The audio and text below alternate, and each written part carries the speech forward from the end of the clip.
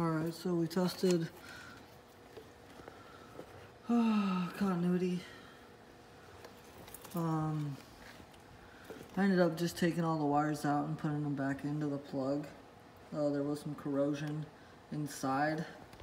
When I pulled out, you can tell after this cover comes off right here, these three comes off, this cover will slide back and you can pull this plug inside here all the way out and then get to uh, these wires in the back here that are going into this Hubbell plug. There was some corrosion, so I stripped them clean uh, with my strippers and I um, put them back in. So I'm gonna go ahead and test continuity real quick and see where we're at, you know.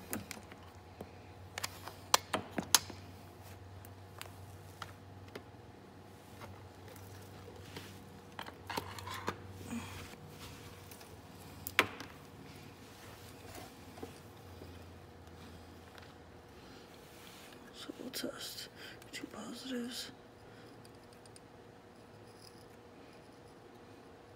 And there is 4.331, so there's going to be kilo ohms. I'm in kilo ohms right now, and saying there is continuity between these two wires. So that's not a good sign. And there's nothing. Oh, there's 18.49. So let's see if there's enough for it to beep. This is auto ranging. So let's test it. Let's beep it on there. So let's go to beep style here.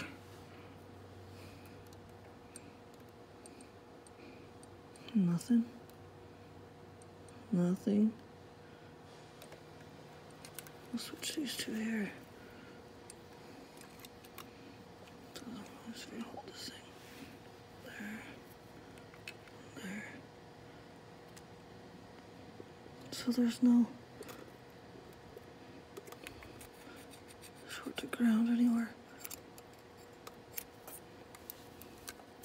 I'm checking each one, see if there might be short to ground. And there's not. So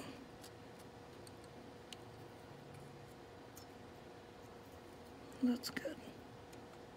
So technically this should work. So we got power on. What we can do here is go to AC volts. It's auto ranging. Here. Grab this plug. Mm. Let's see how many volts we got going through this plug here. Fucking course, snap on. Piece of shit. Take these off.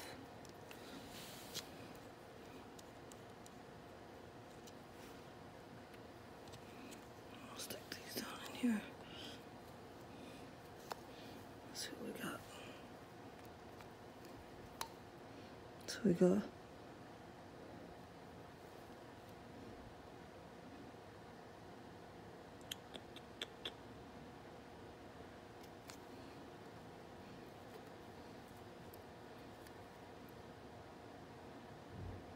one twenty one.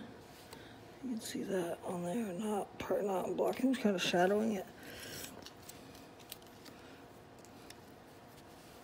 So we got one nineteen, one twenty. So we're good there. So we might as well go ahead and try this a law. Hope we can get it working.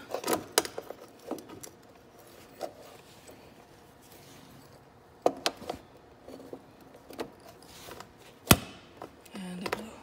So we got bigger problems. We're just gonna get a brand new, brand new plug. So it's probably internal.